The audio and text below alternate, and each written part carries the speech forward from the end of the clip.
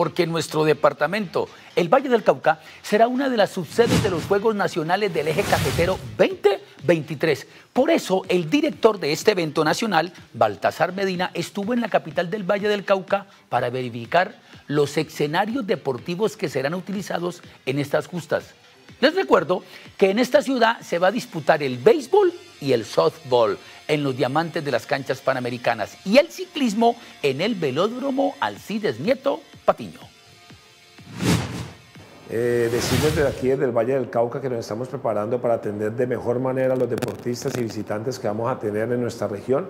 Una región que se ha caracterizado por hacer eventos de talla mundial y que en estos Juegos Nacionales no seremos inferiores al compromiso que tenemos de sacarlos adelante.